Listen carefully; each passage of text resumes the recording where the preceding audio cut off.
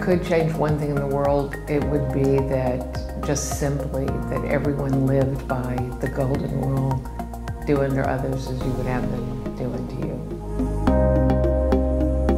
Give me chocolate and I, I am yours. Chocolate is it. Chocolate is my downfall, it's my weakness. I will never give it up. It's the best.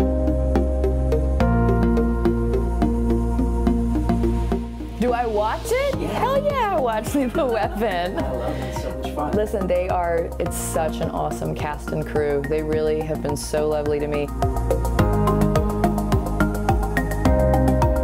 You know, I work with comedians every single day.